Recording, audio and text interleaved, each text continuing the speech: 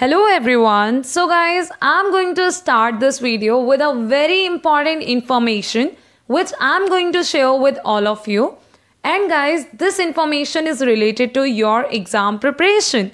And we are going to talk about this thing that how you can take your preparation to the next level in just remaining days before the exam.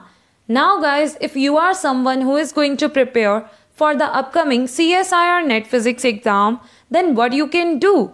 Now you can take the Unacademy Plus subscription and after taking the subscription you will be able to attend the live classes by all the top educators we are having on Unacademy Plus for your exam preparation and there are so many courses which are going on on Unacademy Plus which will help you to prepare for the exam very well and to score good marks and to maintain a good rank in the exam as well.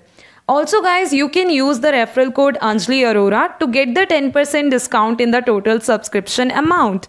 So guys, I hope that this information is going to help you in your preparation. Thank you very much. Hello everyone, welcome to the YouTube channel Mission Net Physics Exam and guys today in this video we are going to discuss a question of mathematical physics. Now this question has been asked in the previous years in CSIR Net Physics exam.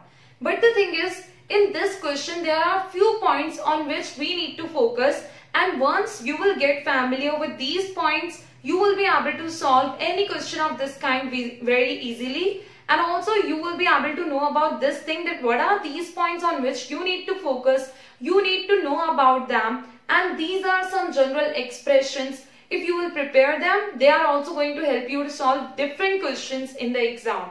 So guys, let's talk about this question now and let's observe this thing that what are these points on which we will focus and we need to focus. So let's talk about them.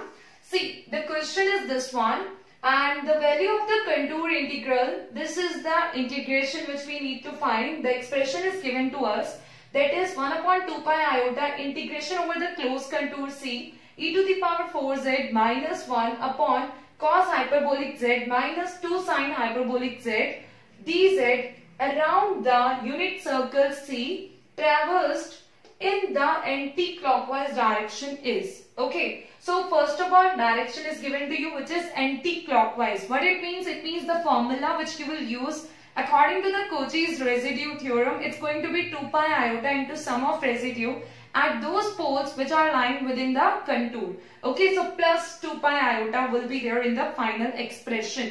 Okay, if it will be clockwise, then it will be minus 2 pi iota into sum of residues at those poles which are lying within the contour. But in this case, since the direction is anti-clockwise, directly we can consider the formula 2 pi iota into sum of residues at those poles which are lying within the contour. So this is the one very important point. Let's talk about the next one. See, here you are having the cos hyperbolic z and sine hyperbolic z written. So guys, if you already know about the expressions of cos hyperbolic z or sine hyperbolic z in terms of exponential functions, it's going to be easy for you to write those expressions in places of cos hyperbolic z and sine hyperbolic z and after that it's going to be easy for you to simplify the expression and to convert uh, the most most of the terms present in this expression in the exponential form. So you can see that here what I have done, I have written the value of the cos hyperbolic z, okay, here and then minus sine hyperbolic z, but it was like 2 in the denominator which has been cancelled out with this 2 which was already present in the question. Okay, so that's why like after simplifying, I'm getting this expression after putting the values of cos and sine hyperbolic z.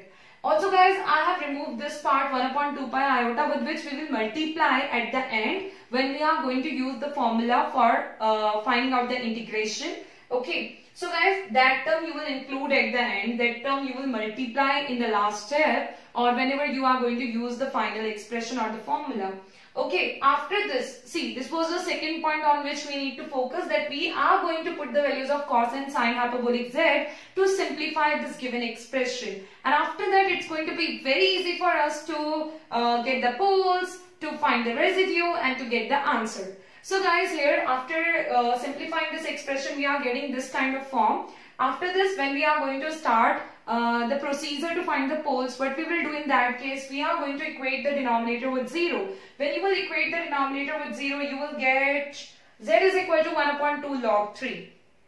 Now guys, we all know that n log m is equal to log n m to the power n. Okay, so you can also write this half power in the power, uh, sorry, uh, half term in the power of 3. So it will be log 3 to the power 1 by 2. Okay, now guys, when you are going to use the residue formula, so for that you have to observe that what is the order of the pole you are getting with this expression that is 1 because overall power of 3 minus e to the power 2z is 1. That's why the pole which we are getting from this expression is going to be a simple pole and the residue formula which we will use in this case will also be the formula corresponding to the simple pole. So we will use limit z tends to a. a is the pole which is this in this case Okay, z limit z tends to a, z minus a f z. What is f z? This is the function. Okay, so this formula is going to help you to get the value of the residue. Now guys, after this, when you are going to use this formula, you will not be able to put this limit directly in that expression. This is the next point you need to note.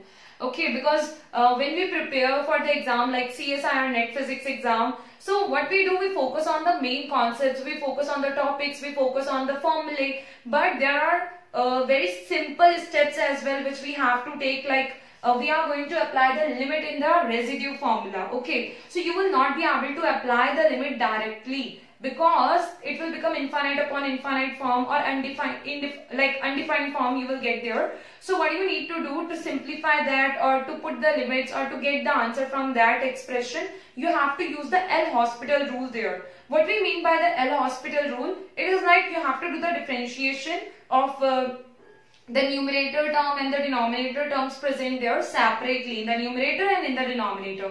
And whatever value you will get after that after uh, finding out or after using the L'Hospital rule whatever expression you will get see after that step if you are going to put the limits is this going to give you the infinite by infinite form or some undetermined form? Okay or is this going to give you some finite form? So in that way or in that case whenever you are going to get the finite form after using the L'Hospital rule you will apply the limits and you will get the residue. Okay so in this question you have to use the L'Hospital rule uh, whenever you are going to find the residue uh, with the simple formula that is limit z tends to a z minus a f z okay and what is L'Hospital rule that is, do the differentiation of the numerator terms separately, like in the numerator, and also for the denominator terms separately in the denominator. And then after that, apply the limits.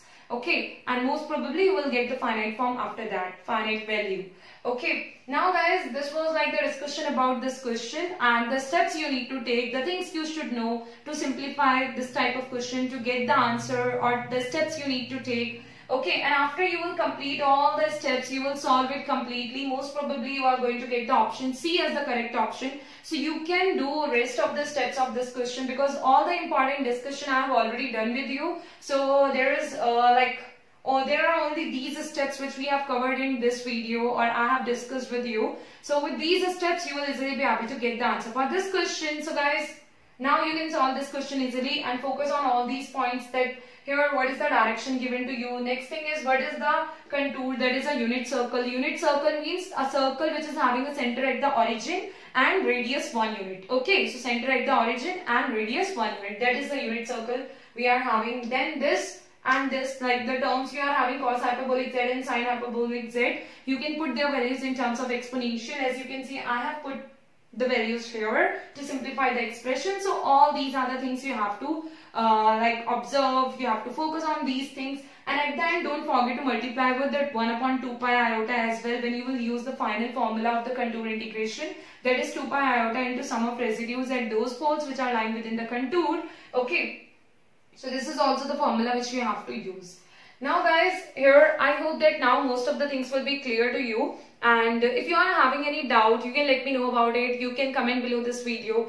And uh, focus on all these points which we have covered because these points are going to help you to solve many other questions as well. Wherever you will have the hyperbolic functions present so you will easily be able to put their values if you will be familiar with them. Okay and some of the steps for the simplification which we have discussed in this video. Uh, so they will also help you to solve various questions in the exam So guys, uh, thank you very much for watching this video till the end. If you are having any doubt at any point, you can let me know about it. You can comment below this video. And if you are new on this channel, what you can do, you can subscribe the channel. Click on the subscribe button below this video. And after clicking on subscribe, you will also get a bell icon there. Click on that uh, bell icon. And after that, you will get the notifications for all the new upcoming videos I will upload on this channel that is Mission Net Physics Exam. And you can watch those videos as I'm going to upload them. Okay, so guys, thank you very much for watching this video till then. Thank you.